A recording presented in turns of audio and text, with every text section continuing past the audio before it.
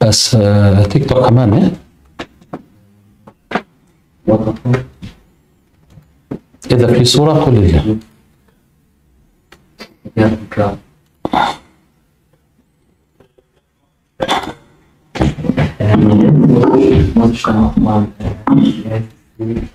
Yeah. Ich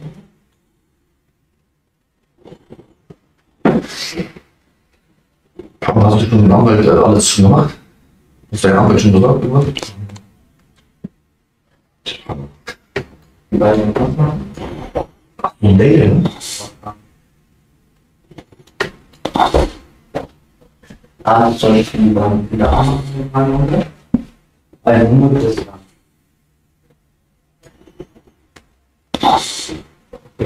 ihn dann wieder anfangen? oder? Bei der Nummer des dann. Okay, also muss ich die Nummer fragen lassen. Okay,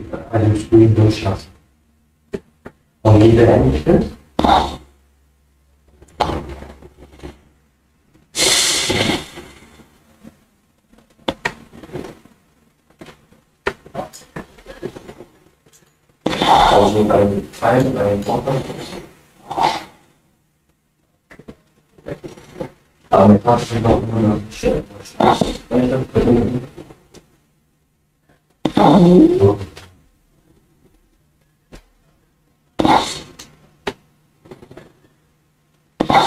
Okay, okay, inshallah. Danke, okay. كم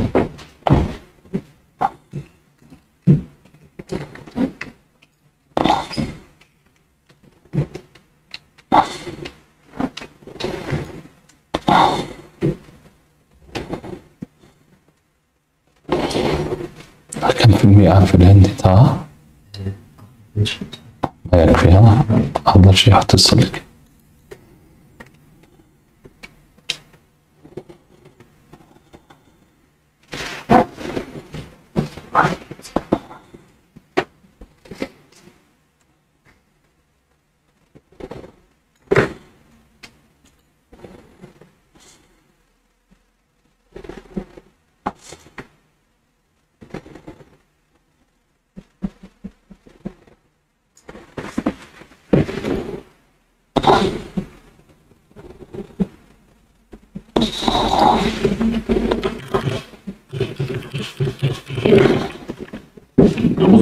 Magnus nog geval. Uh,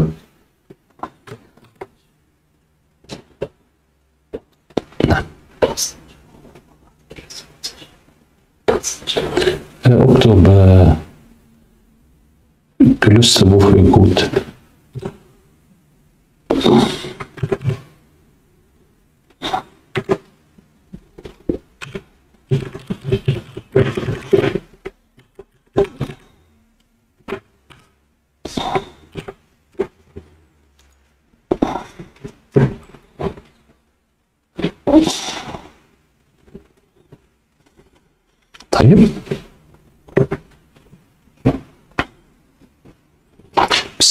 بسم الله.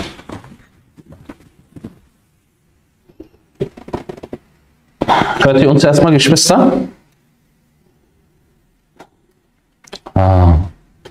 شد ما شغلها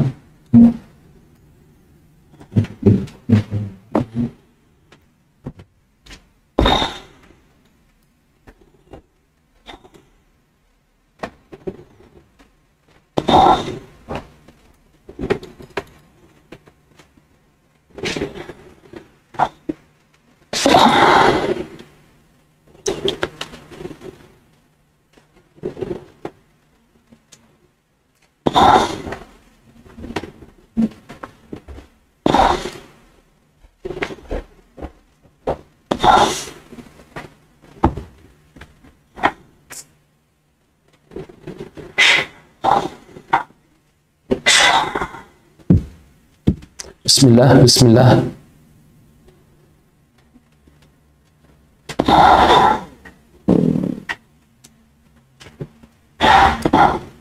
nicht?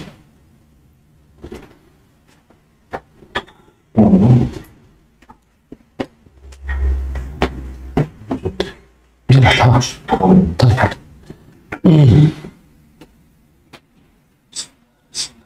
بلا في صوت ها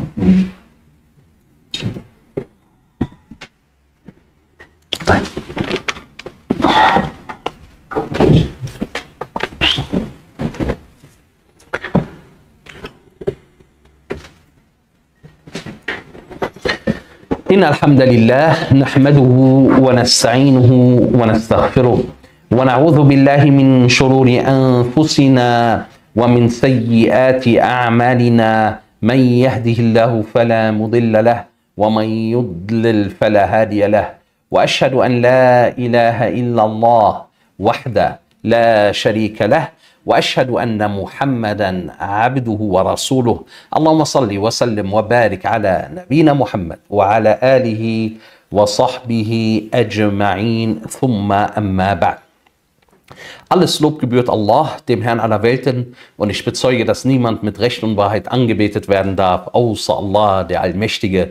Und ich bezeuge, dass Muhammad sallallahu alaihi wasallam sein Diener und Gesandter ist. Alhamdulillahi Rabbil Alamin. Wir begrüßen euch recht herzlich, liebe Geschwister, und sagen euch erstmal Assalamu alaikum wa rahmatullahi wa barakatuh. Und an unsere äh, nicht-muslimischen Zuschauer herzliches Willkommen und wir wünschen für uns alle die Rechtleitung, wir wünschen für uns alle die ewige Glückseligkeit.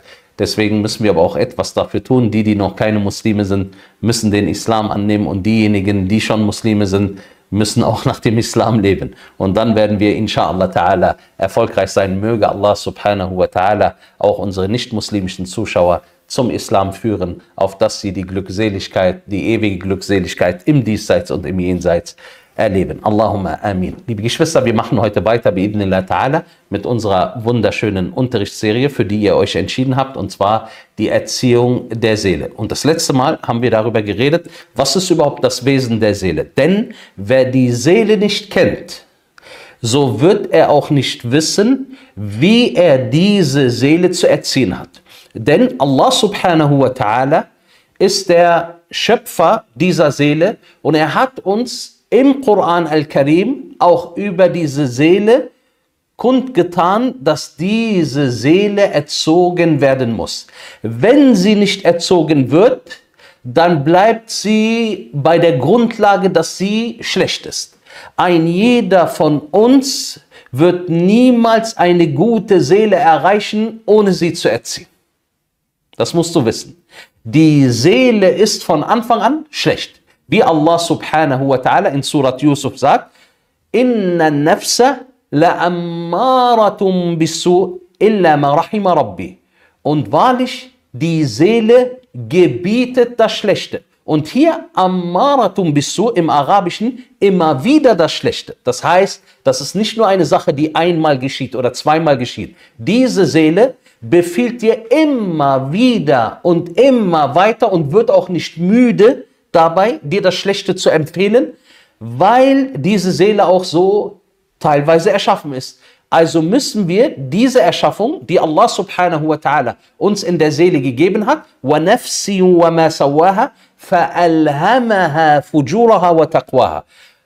Die Seele oder bei der Seele und derjenige, der sie geformt hat, Allah subhanahu wa ta'ala, so sagt er uns über diese Seele, dass sowohl in dieser Seele Gottesfurcht als auch Frevel enthalten ist. Und wir müssen diese Seele zum Guten erziehen, damit sie uns nicht vernichtet. Wer seine Seele nicht erzieht, so vernichtet er sich und seine Seele. Und daher ist es sehr, sehr wichtig, dass wir uns mit dieser Seele beschäftigen, denn, wie manche Gelehrte sagen, diese Seele ist der erste Feind, der vorderste Feind, nicht der Shaitan und nicht etwas anderes, sondern die Seele. Wenn die Seele erzogen worden ist, dann walhamdulillahi rabbil alamin, dann kann dir der Shaitan auch nichts antun. Aber der Shaitan nutzt die Seele, wie wir das letzte Mal auch in den wunderschönen Wörtern von Ibn al-Qayyim rahimullah ta'ala wiedergefunden haben, der Shaitan nutzt die Seele, um dich dorthin zu bringen, wo er dich haben möchte.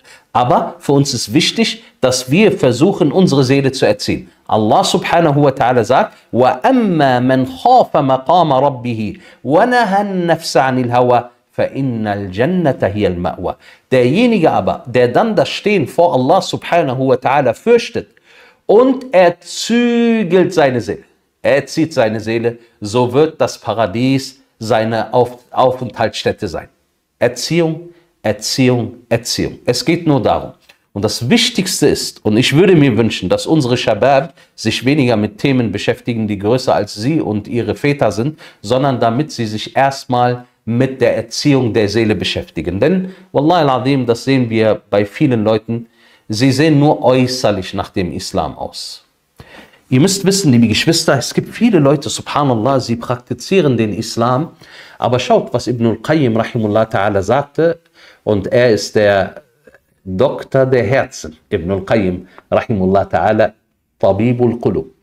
Er sagt, es gibt Leute, sie machen eine gute Tat. Das heißt, die Tat, die sie machen, ist eine rechtschaffene Tat. Sie beten, sie fasten, sie lesen Koran, sie geben die Sadaqa.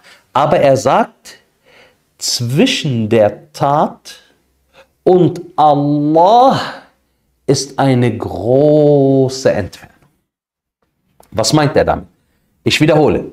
Du betest, aber zwischen der Tat, du hast gebetet, und Allah subhanahu wa ta'ala, dass diese Tat Allah azza wa erreicht, ist eine große Entfernung. Und inmitten dieser Entfernung gibt es jemanden, der klaut deine Tat. Der nimmt dir deine Tat. Was bedeutet das? dass deine Tat Allah subhanahu wa ta'ala nicht richtig erreicht. Das siehst du daran, dass wir beten und fasten und gute Taten machen, aber der Frevel in unseren Herzen, der Hang zum Übel, zum Schlechten, die Liebe für das Verwerfliche ist sehr weit in den Herzen eingedrungen. Und daher, selbst wenn wir diese guten Taten machen, erreichen sie nicht wirklich ihr Ziel, sondern selbst diese guten Taten, die uns eigentlich ändern sollten, wie Allah subhanahu wa ta'ala zum Beispiel sagt über das Gebet, Inna salata tanha anil fahsha'i wal munkar, weil ich das Gebet hält ab vom Schändlichen und Abscheulichen. Wir beten, aber wir machen das Schändliche und das Abscheuliche. Das heißt, irgendwas ist falsch gelaufen.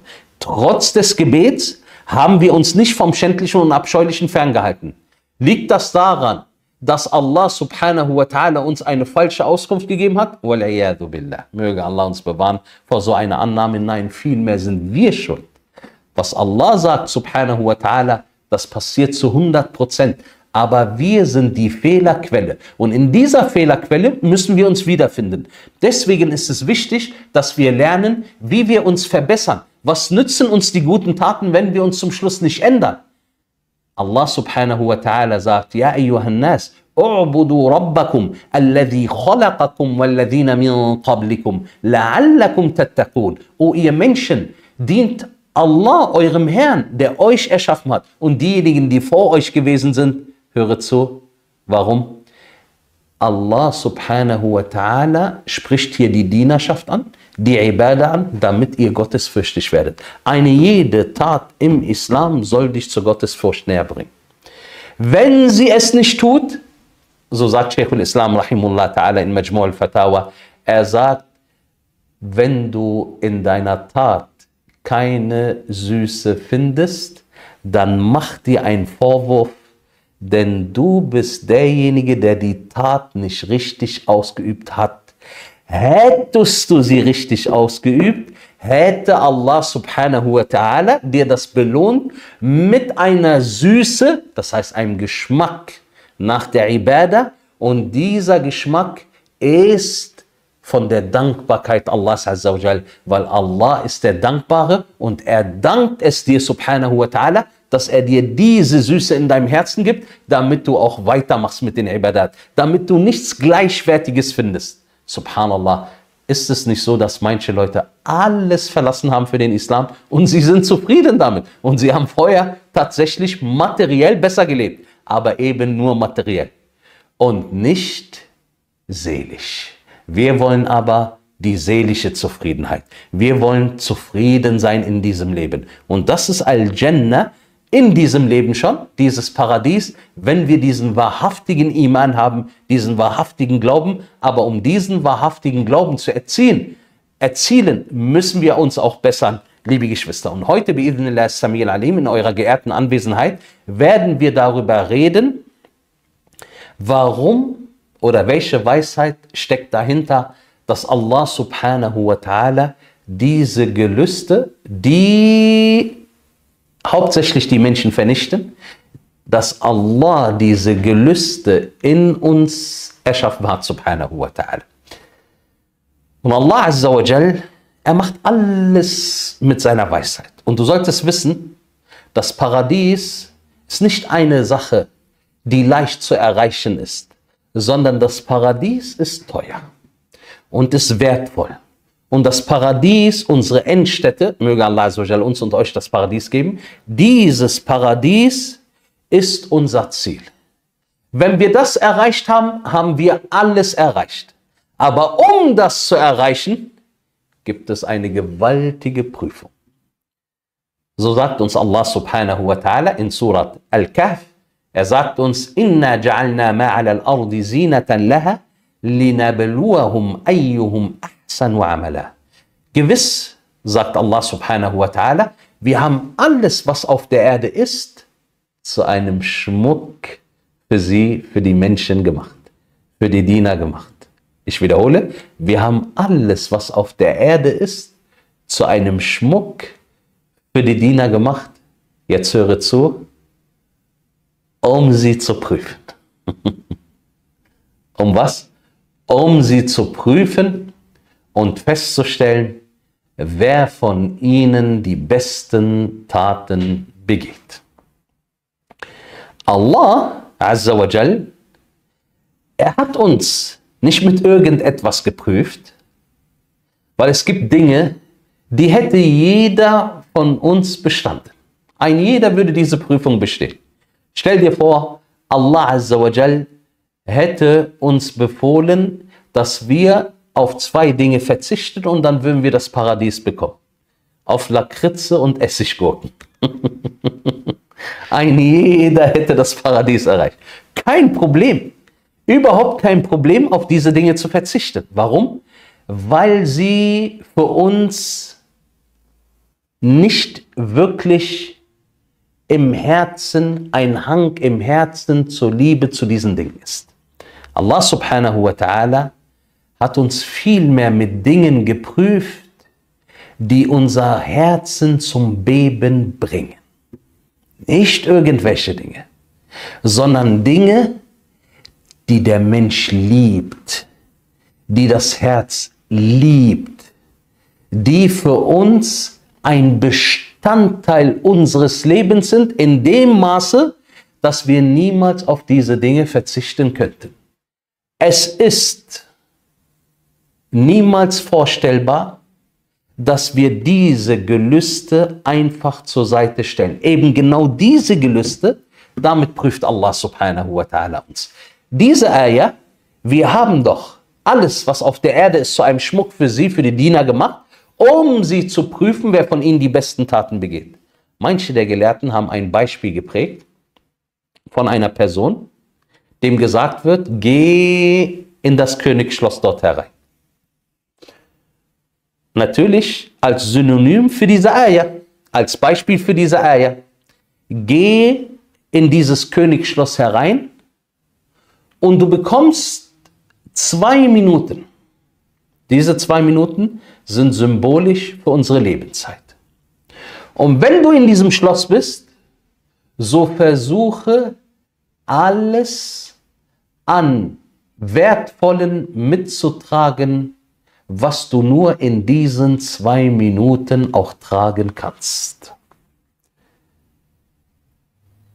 So geht er in dieses Schloss herein und während er reinkommt, sieht er die wunderschönen Transportmittel. Und unsere Jugendlichen kennen sich aus. Äh, Bugatti, äh, Lamborghini und äh, Maybach. All das, was ihre Herzen begehren. Und ihr Blick wendet sich nicht mehr ab von diesen Transportmitteln. Und während sie diese Transportmittel bestaunen, kommt die wunderschöne Königstochter herunter die Treppe und er schaut sie an und dabei geht er jede einzelne Stufe von der Treppe mit ihr mit. Und seine Zeit läuft und läuft und er verliert sich mit den Ablenkungen der Dunja in den Ablenkungen der Dunja, so dass er was vergessen hat? Das Wertvolle mitzunehmen, was er in dem Schloss gesehen hat. Und so vergessen wir, die wir nur zwei Minuten Lebenszeit haben, seien es 60, 70, 80 Jahre, wir schauen auf die Autos, wir schauen auf die schönen Frauen, wir schauen auf die Genüsse der Dunja und vergessen die guten Taten. Und so verlassen wir diese Welt ohne eine einzige gute Tat. Subhanallah. Das, liebe Geschwister, ist eine gewaltige Prüfung von Allah subhanahu wa ta'ala. Dass er diese Gelüste in uns erschaffen hat. Warum? Wir haben das gerade gehört. Damit er uns prüft, wer bleibt auf dem geraden Weg. Und wer ist derjenige, der diesen geraden Weg krumm macht oder ihn ganz verlässt. Und beides ist schlimm. Es gibt Leute, die verlassen ihn, ganz klar, aber manche machen den geraden Weg krumm, als ob sie Allah zeigen wollten, wir gehen diesen geraden Weg, aber sie täuschen und betrügen und tun so, als ob sie diesen geraden Weg beschreiten. Gelüst. Deswegen gibt es ein Höllenfeuer. Dieses Höllenfeuer heißt Al-Hawiya, liebe Geschwister. Al-Hawiya, in diesem Wort steckt Hawa. Das ist das Gelüst. Und dieses Feuer Al-Hawiya wird insbesondere für diejenigen sein, die in ihrem Leben nur ihren Gelüsten gefolgt sind. Und ob du es willst oder nicht, das ist die Masse der Menschheit. Die absolute Mehrheit. Sie folgen ihren Gelüsten und sind bereit, dafür in das Höllenfeuer hereinzugehen. Bei Allah. Erstmal, was ist ein Gelüst? Ein Gelüst ist ein starkes Verlangen, eine starke Lust, etwas zu begehren, aber es bleibt nicht nur bei dem Begehren, sondern man möchte dieses Gelüst erreichen. Gelüst kann Essen sein. Gelüst kann Trinken sein. Gelüst kann eine Frau sein. Gelüst kann Macht sein. Gelüst kann auch Berühmtheit sein. Gelüst kann Ansehen sein. Das alles sind Gelüste. Schöne Kleidung, sich vor den Leuten zeigen. Diese Gelüste sind Dinge, die wir in Zaum halten müssen.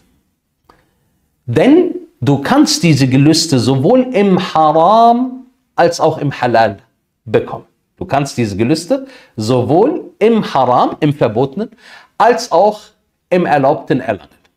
Höre diese Überlieferung, die bei Imam Muslim verzeichnet ist. So kamen einmal arme Leute zum Propheten Muhammad sallallahu alaihi wasallam und sie haben sich mehr oder weniger beschwert, dass die Reichen mit ihrem Geld so viele gute Taten erzielen können. Aber was die Armen anbelangt, so sind ihre Mittel sehr, sehr begrenzt. Und demzufolge auch haben sie auch nicht die Möglichkeiten, so viele gute Taten zu machen, dachten sie bis der Prophet Muhammad sallallahu alaihi wasallam sagte, وَفِي بُضْعِ أَحَدِكُمْ صَدَقَةً Er sagte, im Geschlechtsverkehr von einem von euch mit seiner Ehefrau liegt eine Sadaqa. Das heißt, jemand, der im Halal mit seiner Frau intim ist, bekommt von Allah Azza wa Jal dafür eine Sadaqa, bedeutet eine gute Tat geschrieben. Die Sahaba haben sich gewundert. Sie sagten, Ja Rasulallah, ayati ahaduna shahwata wa yakunu lahu fiha ajr? Einer von uns, er geht seinem Gelüst nach. Gelüst. Gelüst, subhanallah, dafür sollen wir noch Lohn bekommen. Einer von uns geht seinem Gelüst nach und dann bekommt er dafür noch ein Almosen, eine Sadaqa? Höre die Antwort von Rasulullah sallallahu alaihi wasallam. Und das ist nicht nur irgendein Satz, sondern die Gelehrten haben daraus eine Regel abgeleitet. Er sagte zu ihnen, Ara'aytum, law fi haram, akana alayhi fiha wuzr. Was denkt ihr, wenn er das im Haram gemacht hätte? Im Haram, im Verbotenen. Das heißt, er hätte die Sinner gemacht, möge Allah uns und unsere Geschwister davor bewahren. Wenn er das im Haram gemacht hätte, würde er dafür nicht eine Sünde bekommen? Das heißt, vor Allah Azza wa Jal zur Verantwortung gezogen werden? Dann sagte er, فكذلك إذا وضعها في حلال كان له أجر. Genauso ist es, wenn er das aber im Erlaubten macht, mit seiner Ehefrau, nicht mit einer fremden Frau, die nicht sein Recht ist. Wenn er das im Halal macht, ist es nicht so, dass er Lohn dafür bekommt? Abul Bara, ich erinnere dich, du hast uns gesagt, die Gelehrten haben daraus eine Regel abgeleitet. Richtig.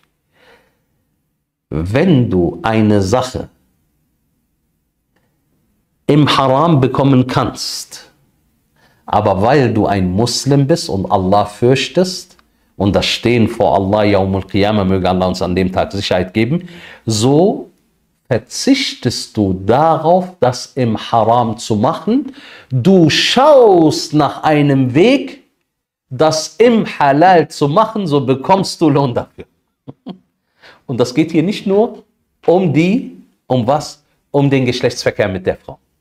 Sondern du kannst das auf die Dinge projizieren, die im Haram vorhanden sind. Wir haben gesagt, das Gelüst, du kannst es im Haram erlangen, du kannst es aber auch im Halal erlangen. Wenn du dieses Gelüst nachkommen willst, du willst es praktizieren, aber da ist nur eine Möglichkeit, die haram ist. Aber jetzt schaust du nach einer Möglichkeit, die halal ist, dann wirst du belohnt. Zum Beispiel im Sommer wollen die Leute gerne schwimmen.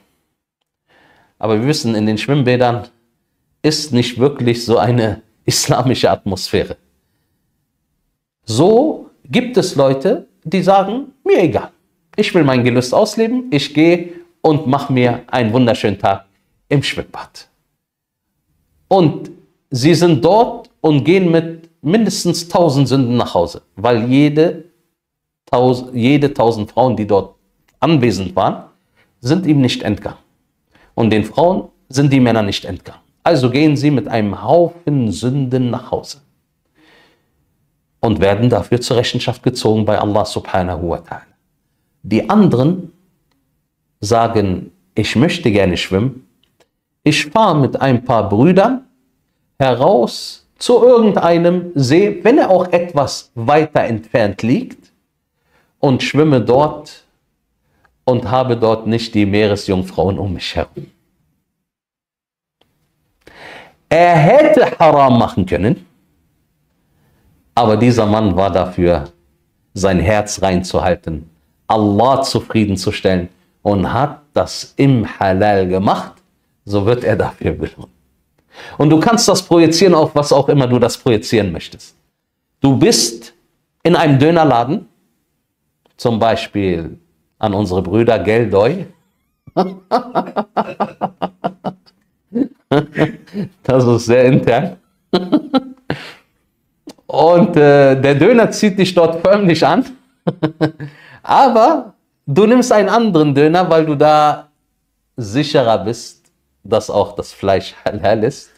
Wenn er auch etwas weiter entfernt liegt und nicht so schön riecht. Ich könnte jetzt ein paar Namen nennen, die ich jetzt unterlasse.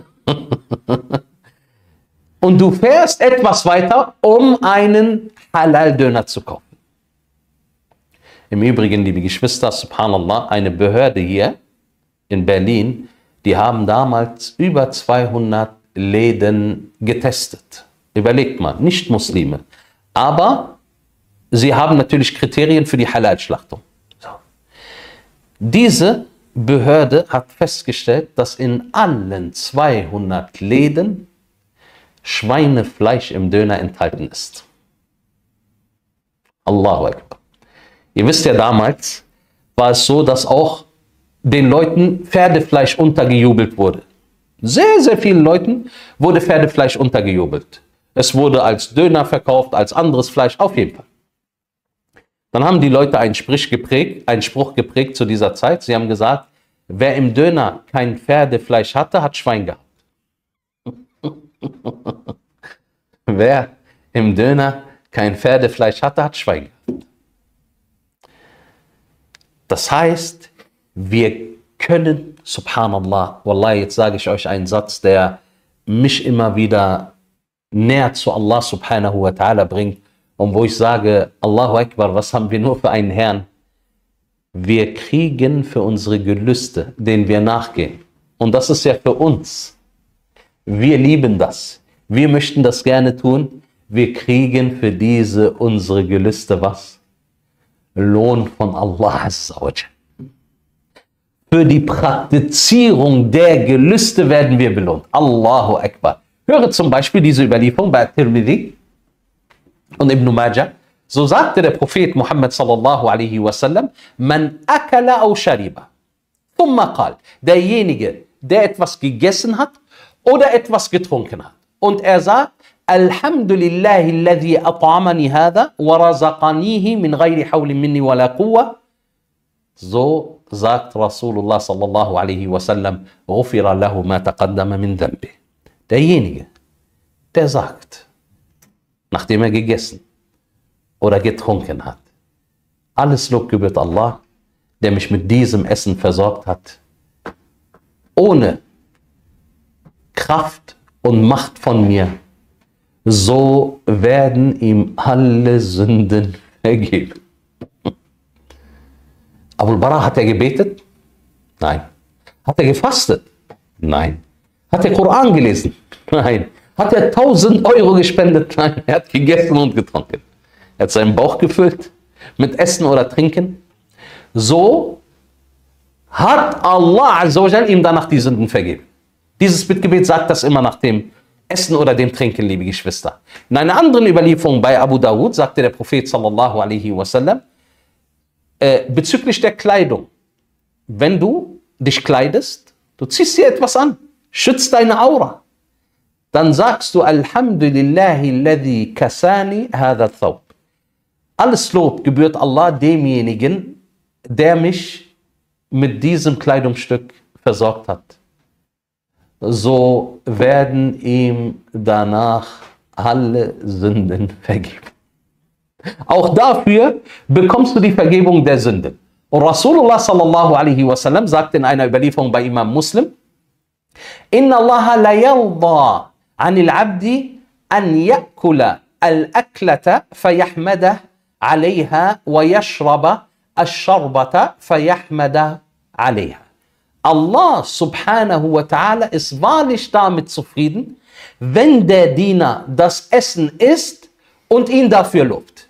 Und wenn er das Getränk trinkt und ihn dafür lobt. Wenn du trinkst und isst und Allah lobst, indem du nur ein Wort sagst, Alhamdulillah, so ist Allah Azza wa Jal mit dir zufrieden. So ist Allah subhanahu wa ta'ala mit dir zufrieden. Und derjenige, der bevor er seiner Frau näher kommt. Und er sagt, Bismillahi, Allahumma jannibna ash-shaytana wa jannib ash-shaytana ma razaqtana, O Allah, entferne uns von dem Shaitan, so wird Allah subhanahu wa ta'ala, wenn daraus ein Kind entsteht, durch diese Intimität, so heißt es, إذا قضي بينهما ولد لم يضره الشيطان wenn ein Kind entsteht durch diese Intimität, wo der Mann und die Frau dieses Bittgebet gesprochen haben, so wird dieses Kind von Shaitan nicht zu einem Schaden verleitet, nicht zum Schlechten verleitet. Allahu Akbar. Dinge, die praktisch mit unseren Gelüsten zu tun haben. Wir praktizieren unsere Gelüste und kriegen noch Lohn von Allah subhanahu wa ta'ala, wenn wir dankbar sind. Möge Allah azza uns zu dankbaren Menschen machen. Und Allah subhanahu wa ta'ala sagt in Surat Ibrahim, wa la in kafartum inna adhabi la shadid. Wenn ihr dankbar seid, so werde ich euch noch mehr geben. Bezüglich der Gnaden, wenn ihr dankbar seid, werde ich euch noch mehr geben. Aber wenn ihr undankbar seid, so ist meine Strafe streng, sagt Allah subhanahu wa ta'ala. Liebe Geschwister, Allah hat verschiedene Schöpfungsarten. Und diese Schöpfungsarten hat Allah subhanahu wa ta'ala mit seiner Weisheit erschaffen.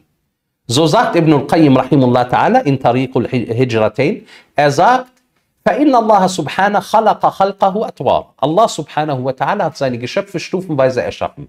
فخلق الملائكة عقولا لا شهوة لها. So hat Allah subhanahu wa ta'ala die Engel mit einem Verstand erschaffen, aber ohne Gelüste. Allah hat die Engel erschaffen mit einem Verstand, aber ohne Gelüste. Abul Bara, die Engel haben Verstand? Ja, sie haben einen Verstand. Alhamdulillah.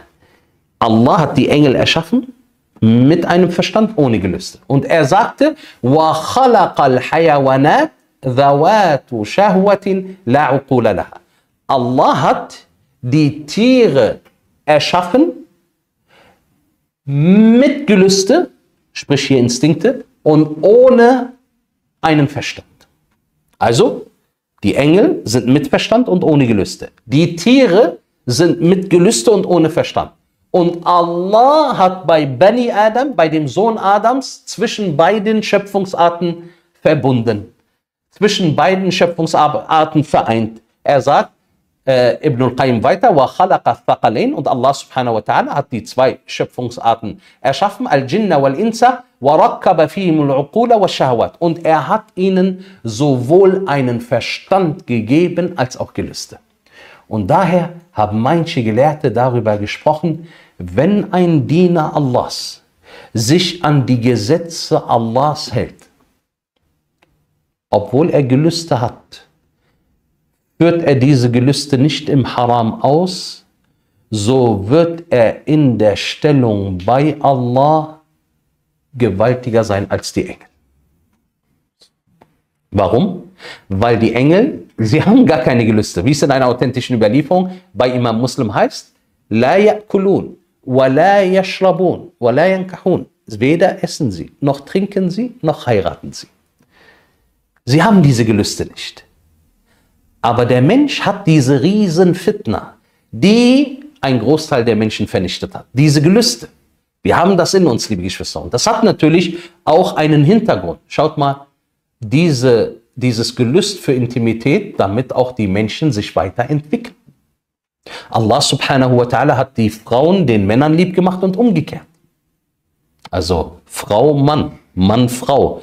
Nicht Mann, Mann und Frau, billah, sondern Allah hat das so gemacht, subhana, mit seiner Weisheit, denn durch diese Fitra, dieses Gelüst, was in uns vorhanden ist, entwickelt sich die Nachkommenschaft. Durch das Gelüst zum Essen bleibst du am Leben. Durch das Gelüst zum Trinken bleibst du am Leben. Also hat von der einen Seite Allah subhanahu wa ta'ala dieses Gelüst auch bei uns hereingemacht, damit wir auch bestimmte Ziele erreichen. Ah, das sollten wir wissen. Denn ihr solltet wissen, liebe Geschwister, Allah Azza wa Jal, wie ich es eingangs erzählt habe, Allah subhanahu wa ta'ala hat uns nicht mit irgendetwas geprüft, worauf unsere Seelen locker verzichten können. Nein, Allah prüft uns mit Dingen, die unser Herz zum Beben bringen. So sagte Rasulullah sallallahu alaihi wasallam in einer Überlieferung bei Imam Muslim, er sagte, حجبت النار بالشهوات وحجبت الجنة بالمكاره Das Höllenfeuer ist umgeben von Gelüsten. Und das Paradies ist umgeben von unangenehmen Dingen. Allahu Akbar. Schaut mal. Das Paradies ist umgeben von unangenehmen Dingen.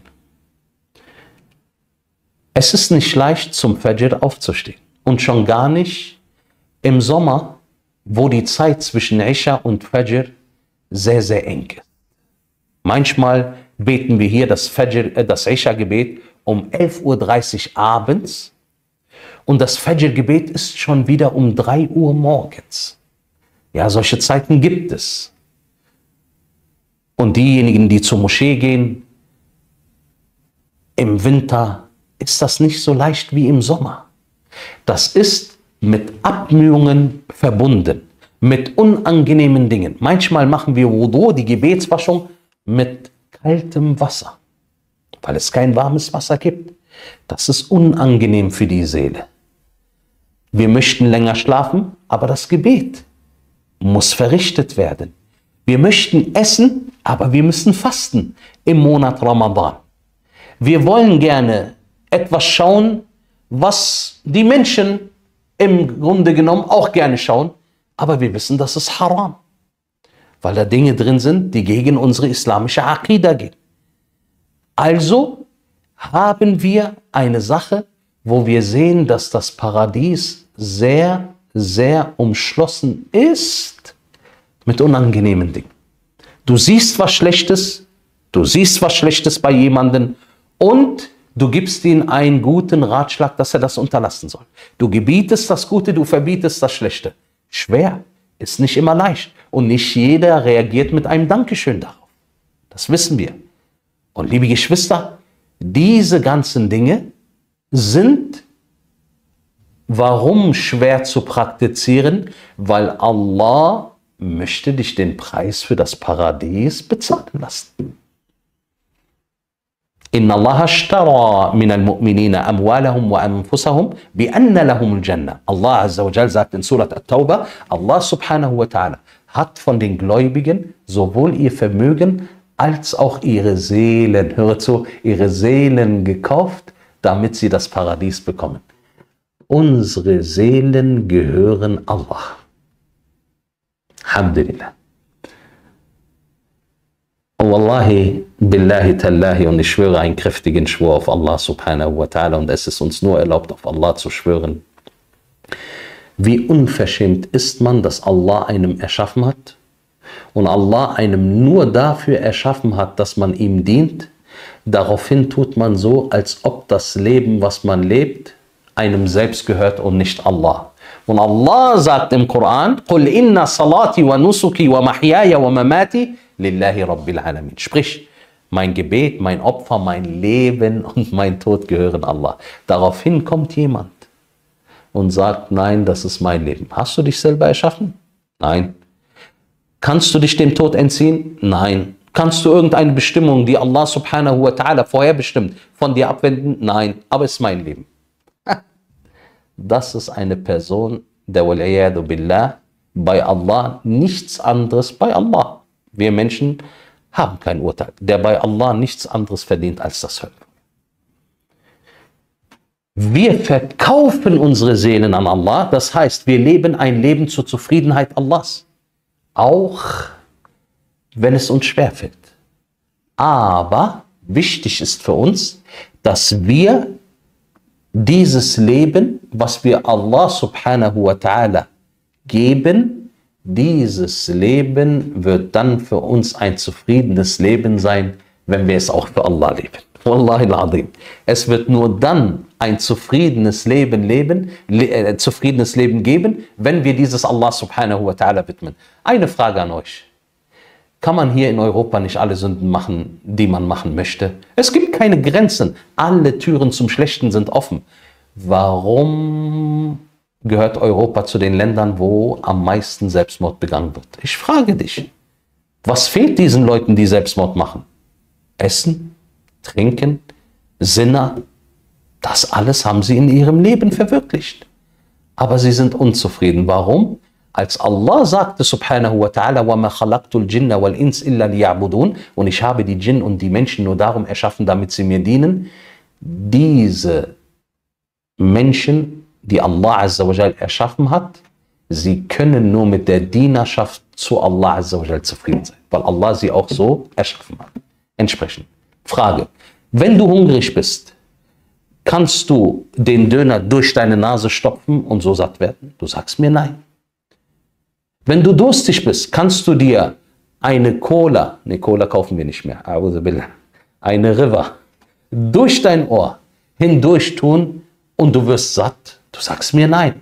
Warum nicht, frage ich dich, weil diese Orte nicht dafür gemacht wurden. Richtig. Und diese Seelen sind nicht dafür gemacht, dass sie nur essen und trinken und Geschlechtsverkehr haben. Das genau macht sie zu Tieren. Dann gibt es keinen Unterschied. Wir haben doch gesagt, Allah Azza wa Jal hat verschiedene Schöpfungsarten erschaffen. Die Tiere haben Gelüste. Ja, nee. Essen die Tiere nicht? Doch. Essen die, äh, trinken die Tiere nicht? Doch. Haben sie keinen Geschlechtsverkehr? Doch. Aber das war's. Und ich frage dich mit vollem Respekt, wo sollte der Unterschied zwischen uns Menschen und den Tieren sein, wenn wir letztendlich dasselbe machen wie sie? Wenn wir dasselbe veranstalten wie sie? Hier, genau hier ist der Unterschied zwischen uns und den Tieren. Außer jemand soll ja Menschen geben, die damit zufrieden sind, die sagen, Ana Hayawan, Alhamdulillah. Gibt's. Wenn er das sein möchte, dann sagen wir ihm, Anta Hayawan, Sadaqt. Wirklich, du bist das. Denn Allah subhanahu wa ta'ala, als er über die Tiere gesprochen hat, sagte er, Ulaika kal an'am bal hum adall.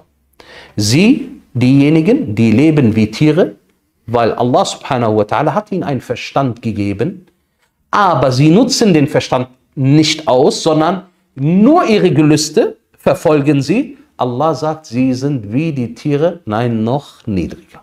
Allahs Worte. Ihr braucht nicht bei Abul Bara an der Tür zu klingeln. Allahs Worte. Kein anderer hat diese Wörter gesagt.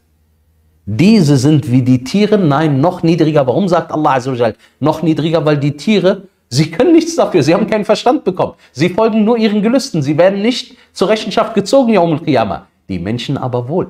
Und obwohl sie einen Verstand bekommen haben, leben sie genauso wie Tiere, die keinen Verstand bekommen haben. Deswegen sagt Allah subhanahu wa ta'ala, sie sind wie die Tiere, nein, noch niedriger. Möge Allah Azzawajal uns Ehre in der Dunya und Akhira geben.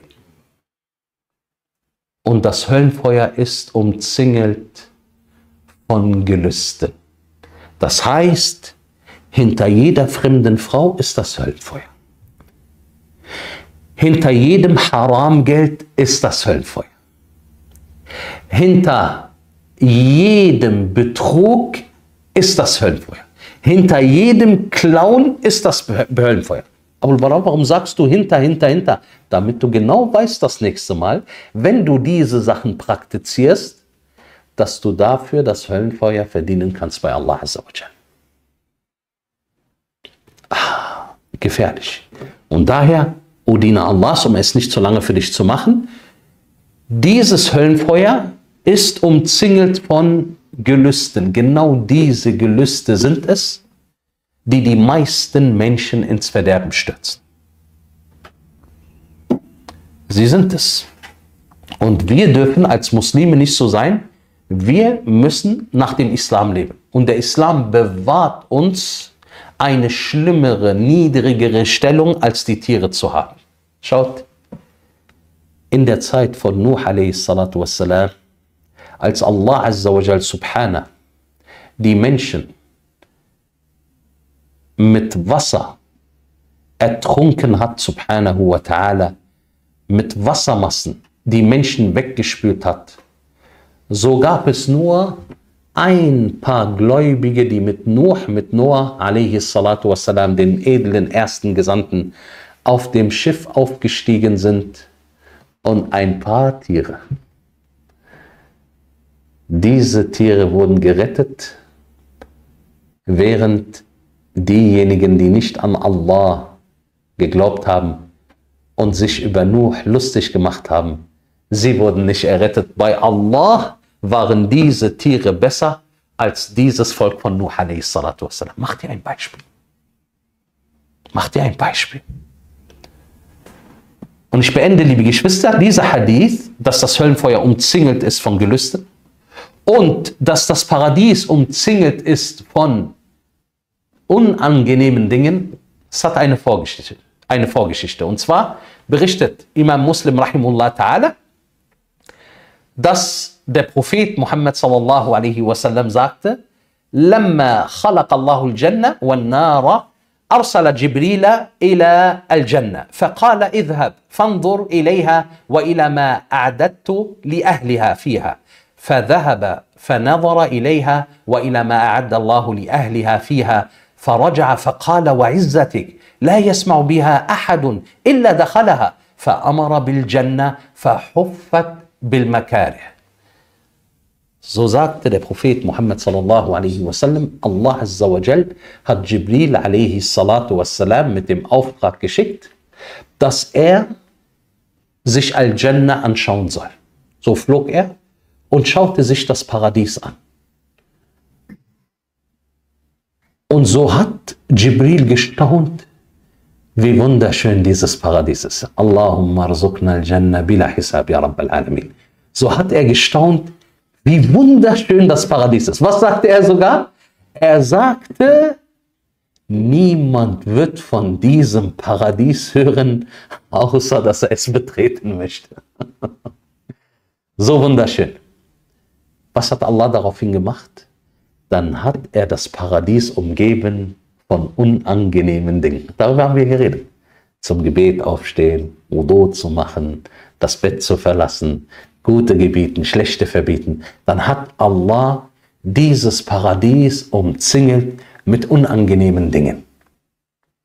فقال ارجع فانظر إليها وإلى ما أعددت لأهلها فيها قال فنظر إليها ثم رجع فقال وعزتك لقد خشيت أن لا يدخلها أحد Dann sagte Allah Azza wa Jal zu Jibril, flieg nochmal hin und schau dir das Ganze nochmal an. Das heißt das Paradies, was du vorher gesehen hast.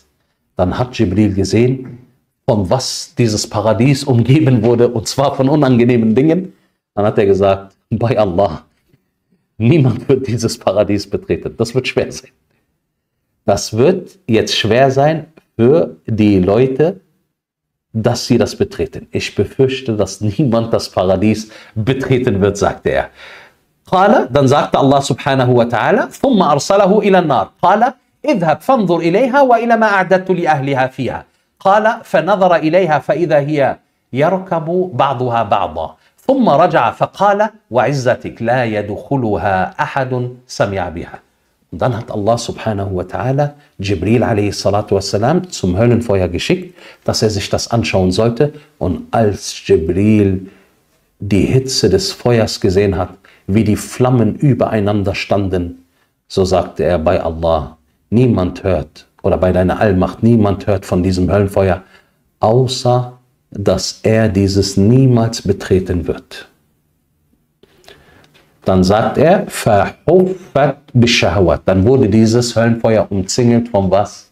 Von Gelüsten. Thumma qal, dann sagte er, Allah subhanahu wa ta'ala, idhab fanadara ila ma'ad.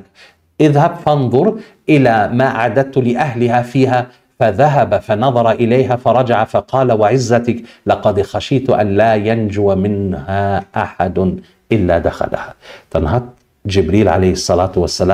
dieses Höllenfeuer nochmal angeflogen und hat gesehen, dass dieses Höllenfeuer umgeben wurde von den gelüsten Frauen, Haramgeld, Dinge, die einem oder wo die Leute denken, dass das einen glücklich macht.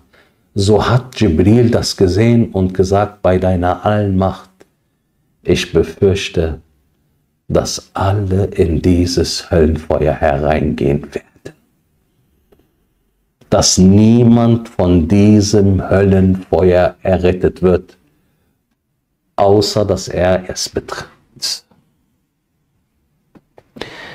Und ich sage eins zu meinen geliebten Geschwistern, wer denkt, dass er sich vor dem Höllenfeuer gerettet hat, und das sind die Worte von Imam al-Dhahabi, rahimullah ta'ala, so ist er getäuscht.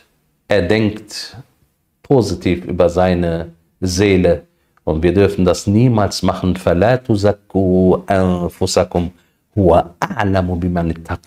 Allah sagt in Surat An-Najm, darum erklärt euch nicht selbst für rein.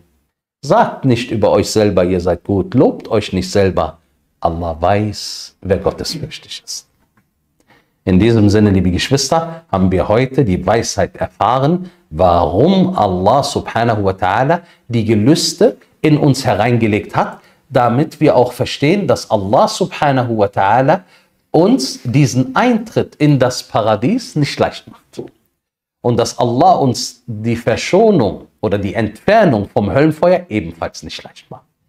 Aber Alhamdulillah, derjenige, der uns zum Beten geführt hat und derjenige, der uns zum Fasten geführt hat und zur Sadaqa und zum Koran lesen, so haben wir gute Hoffnung, weil Allah Karim ist, großzügig ist, dass er uns diesen Weg weiter beschreiten lässt.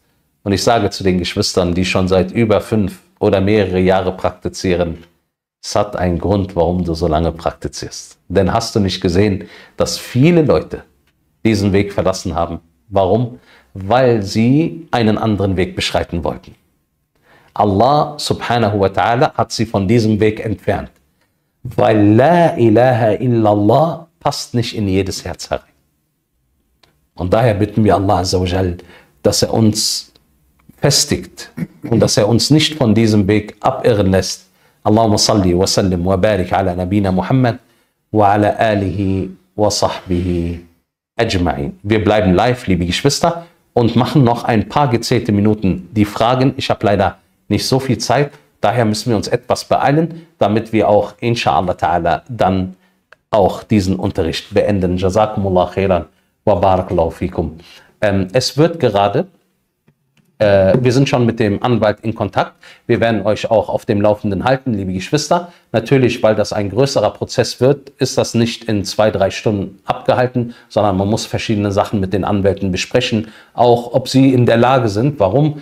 Äh, ich werde darüber auch nochmal äh, eine extra Sache machen, weil, liebe Geschwister, nicht jeder nimmt es auf mit dem Axel Springer Verlag. Ihr solltet nicht denken, dass das ein kleiner Verlag ist und dass sich jeder Anwalt mit diesem Verlag einfach so aufnimmt, sondern das wird erstmal eine Hürde sein, einen Anwalt zu finden. Wir haben schon zwei in Ausblick, Alhamdulillah, und sind auch jetzt gerade im Gespräch. Aber diese Sache werden wir euch inshallah ta'ala immer weiter auf den, äh, auf den Laufenden halten. Jazakumullah khairan wa barakallahu fikum. Wenn es Fragen gibt, habt ihr jetzt die Möglichkeit, diese zu erfragen. شغل الشات ها لأن أنا ما أشوف الأسئلة. إيه ولكن الأسئلة ما موجودة. إيه؟ في أسئلة؟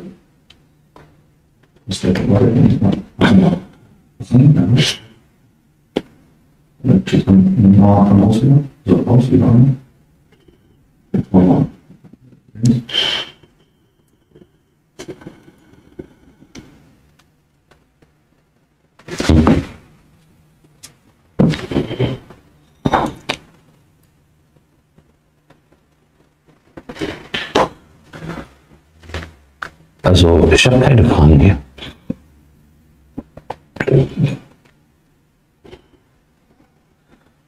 Ist das YouTube oder TikTok? Okay. Nee, ach, das geht mir viel zu schnell. Da ist immer eine Millisekunde und dann.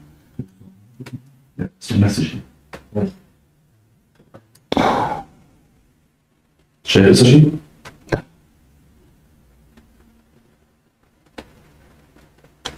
Sonst habe ich die Fragen immer an den Seiten normalerweise.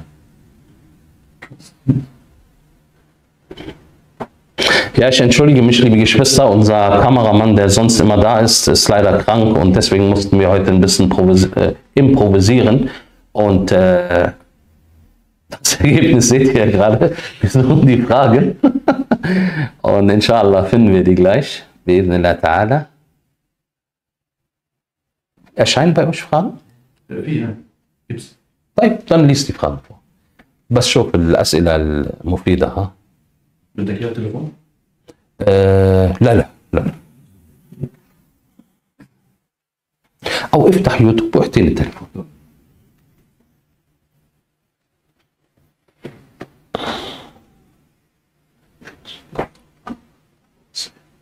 من إيش؟ تليفون؟ ما السلك موصول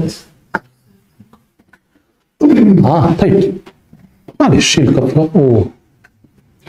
طيب wir fangen an mit.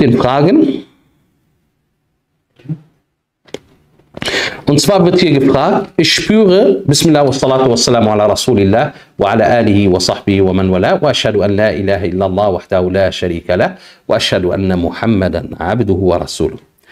Äh, ich spüre keine Reue mehr nach den Sünden, sogar die großen Sünden. Was soll ich tun und wird meine Reue akzeptiert? Du musst wissen, das ist ein sehr gefährlicher Weg. Wenn du keine Reue mehr verspürst für deine Sünden, dann ist das nicht gut. Der Prophet sallallahu alaihi wasallam hat uns eigentlich als Gläubige eine frohe Botschaft gemacht. Er sagte, derjenige, der nach einer Missetat, nach einer Sünde im Herzen etwas empfindet, Traurigkeit, und derjenige, der nach einer guten Tat Freude empfindet, so ist er ein Gläubiger. Aber wenn wir diese Sache nicht mehr erreichen, dann ist es an der Zeit, eine wahrhaftige Reue zu machen. Es gibt irgendwas in deinem Leben, wo Allah subhanahu wa ta'ala zwischen dir und der Reue etwas gelegt hat, weil du mit gewaltigem Grade gegenüber Allah subhanahu wa ta'ala geprüft wirst. Und daher mein, mein Tipp, mein Rat an dich ist, dass du dir wirklich mal die Zeit nimmst und bereust und tiefst bereust und nicht nur bereust, dass du all das lässt, was gerade äh, äh, deine Reue versperrt bei Allah subhanahu wa ta'ala. Und dass du viel Dhikr machst und viel Istighfar Allah um Vergebung bittest, so dass Allah azza wa jal dich wieder zum Weg zurückbringt. Möge Allah azza wa jal dir das ermöglichen. Kommt diese Reihe wieder, inshallah, jede Woche Dienstag? Ja, jede Woche Dienstag, inshallah, habt ihr euch entschieden für Taskiyatun Nafs, für die Erziehung der Seele, bi'idnillah ta'ala. Laut deinem heutigen Vortrag kann man also sein Nafs nicht so erziehen, dass man die Taten, die Allah abscheulich findet, selber auch verabscheut, weil darin die Prüfung. Nein, nein, nein, nein, nein, nein. Völlig missverstanden. Allah subhanahu wa ta'ala, er prüft uns mit diesen Gelüsten. Aber für uns ist wichtig, schau mal, was du schreibst, kann man also sein Nafs nicht so erziehen, dass man die Taten, die Allah abscheulich äh, äh, findet, selber auch verabscheut. Der Gläubige ist der, der das verabscheut, was Allah Azza verabscheut. Deswegen, wenn wir dann später über die Erziehung der Seele reden, wir sind noch nicht beim Thema, wir sind noch bei der Einleitung, dann werden wir darüber reden, wie die errettete Seele aussehen muss. Was man dafür tun muss, damit man auch errettet wird. Wallahu a'lam. Ich habe einen Verlobungsring aus Weißgold. Darf ich ihn tragen? Äh, aus zwei Hinsichten nicht. Einmal, weil es ein Verlobungsring ist und zweitens, weil es Gold ist. Auch Weißgold, das spielt hier keine Rolle. Denn der Prophet Muhammad sallallahu alaihi wasallam sagte in einer Überlieferung bei Ibn Majah, er sagte, das Gold ist für die Männer in meiner Umma verboten. Er hat keinen Unterschied gemacht zwischen Weißgold und anderen Arten von Gold. Das heißt, weder darfst du, weder darfst du diesen Verlobungsring als Verlobungsring tragen, du kannst einen Ring normal tragen, noch darfst du ihn tragen, weil da auch Gold mit enthalten ist.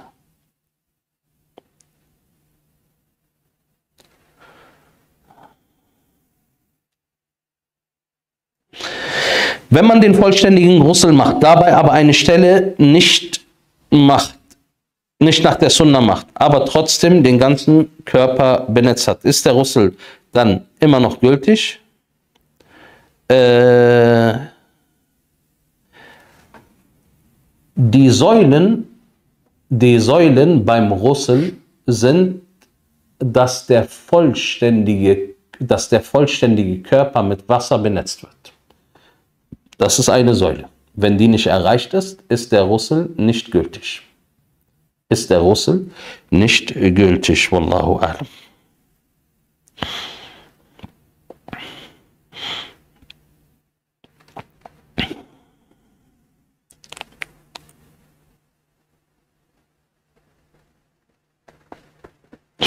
Wenn die Sunna-Gebete auch schlecht gebetet worden sind, kann es sein, dass sie trotzdem die Pflichtgebete nicht füllen konnten. Sie werden füllen, aber wie viel sie füllen, das hängt davon ab, wie gut sie wachen. Und der Prophet sallallahu alaihi wasallam sagt in einer authentischen Überlieferung, manchmal ist ein Gebet nur ein Sechstel vom Lohn wert, manchmal nur ein Viertel, manchmal nur ein Halb und manchmal auch gar nichts.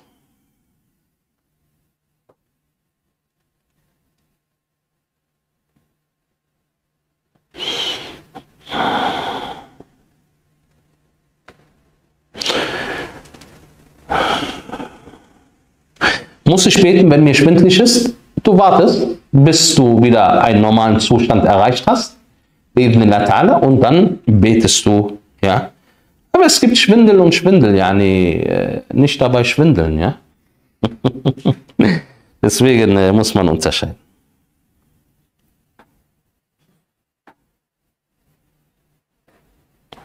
Ich arbeite im Büro, wo zwei, ich arbeite im Büro äh, zwei Stunden effektiv, äh, wo zwei Stunden effektiv reichen, aber werde für acht Stunden bezahlt. Ist dieses Haramgeld? Dazu muss gesagt werden, dass ich Freiberufler bin und für, Resul für Resultate bezahlt werde. Also, die Angelegenheit ist ja so.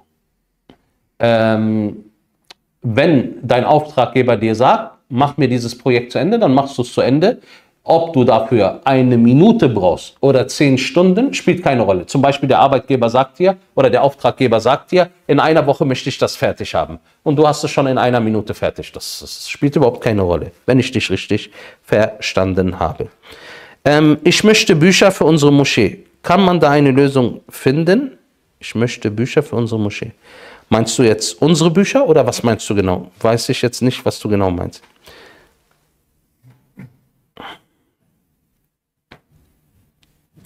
Bei wem kann ich die Aqidah lernen in Berlin? Bei wem kann ich die Aqidah lernen in Berlin persönlich? Ja, du musst wissen, also moscheenmäßig, äh, Khair inshallah. Khair, Khair inshallah. Äh, und die Brüder, die ich kenne, da weiß ich nicht, ob das klappt. Weil jeder hat viel zu tun. Hm, Vielleicht kannst du uns persönlich anschreiben, inshallah. Darf man im Auto mit Schuhen beten, wenn man auf der Arbeit keine Möglichkeit hat? Das hat nichts mit Auto oder Flugzeug oder Raumschiff zu tun. Das ist eine Sache, die ist erlaubt. Der Prophet Muhammad sallallahu alaihi wasallam, wie bei At-Tirmidhi berichtet wurde, kana yusalli, er hat gebetet, sowohl barfuß als auch mit Schuhen. Sowohl barfuß als auch mit Schuhen. Darf man einen Platinring tragen für die Heirat? MashaAllah. Platin, ja? Ja, Platin. Nein, für die Heirat nicht. Für die Heirat darfst du keinen Platinring tragen. Aber darf man einen Platinring tragen? Hier sagen die Gelehrten, das hängt davon ab, ob das entsprechend auch deinem Verhältnissen ist. Yani, eine Person, der eine Bank überfallen muss, damit er einen Platinring tra tragen kann, ist natürlich ist für ihn nicht erlaubt. Aber eine Person, der ist Multimillionär, ist kein Problem, inshallah.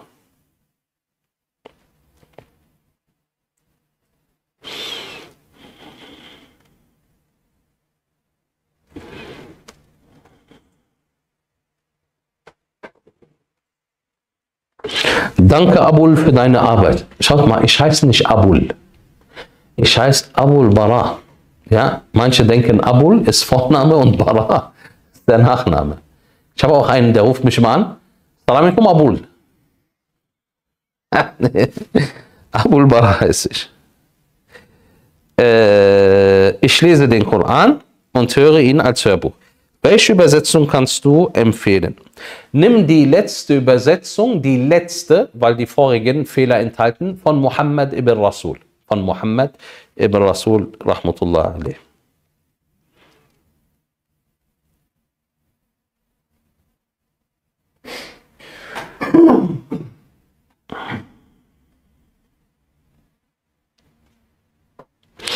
Ist der Mann verpflichtet, die Pflichtgebete in der Moschee zu beten? Ja, wenn er nicht gerade auf Arbeit ist oder äh, anderweitig, dann muss er in der Moschee beten. Bücher von euch, ja, dann bitte schreib Islamkenntnis an, inshallah ta'ala, und dann kannst du dort die Bücher bestellen.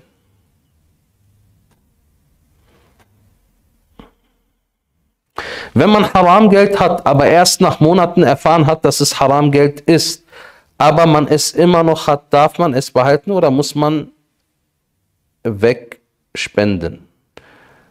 Weil ich lerne immer neue Wörter bei euch im Deutschen. Wegspenden habe ich auch noch nie gehört. Aber auf jeden Fall, ähm, wie ist die Angelegenheit hier? Was heißt, man wusste nicht, dass das Haramgeld ist? Also jetzt so spontan fällt mir nicht ein, welche Situation sowas sein könnte, aber dennoch Ähm, wenn du weißt, dieses Geld ist durch Betrug oder durch Klauen oder sonstiges äh, erzielt worden, dann muss das zurück zu seinem Besitzer. Definitiv. Definitiv.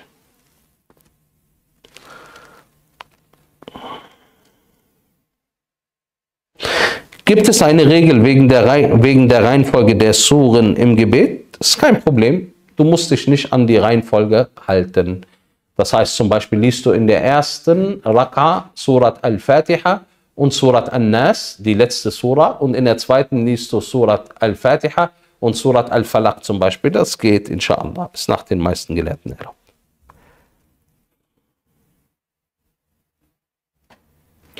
Wer ist wichtiger, wenn ein Mann verheiratet ist? Seine Frau oder seine Mutter? Seine Mutter. Seine Mutter. Ohne Frage. Wann kommt Mahdi? Wenn er da ist, sag du es mir, inshallah. Darf man Maulid machen, wenn jemand stirbt? Nein. Ich habe Akne und sie bluten immer nach Wudu. Was soll ich machen? Das bricht nicht dein Wudu. Wallahu alam. Selbst nicht bei den Gelehrten, die das Blut als Najis, als unrein sehen. Wie sollte ein Muslim damit umgehen, wenn zum Beispiel in der Schule von einem Mädchen verliebt wird, egal ob Muslim oder nicht Muslim? Wie süß. Hast dich in ein Mädchen verliebt. Aber wird, egal ob Muslim oder nicht Muslim? Habt ihr die Frage verstanden? Wenn zum Beispiel in der Schule von ein Mädchen verliebt, egal ob Wenn ich kein Arabisch kann, ist es dann überhaupt von Nutzen, wenn ich den Koran auf Deutsch lese? Ja, natürlich. Solange du kein Arabisch kannst, musst du ja ungefähr wissen, was der Inhalt vom Koran ist.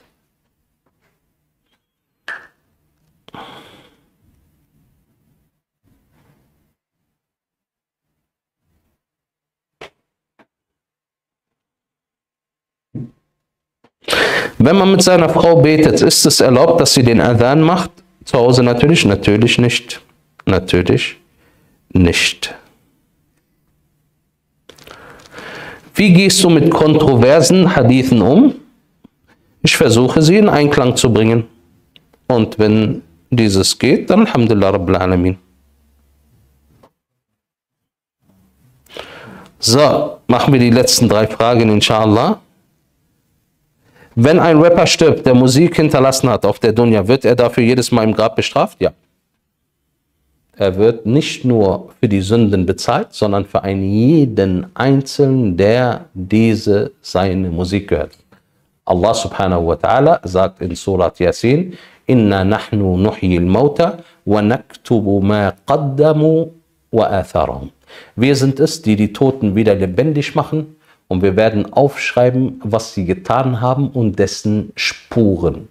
Jeder, der an der Sünde beteiligt war durch ihn, so wird das auf sein Konto gehen. Möge Allah uns bewahren.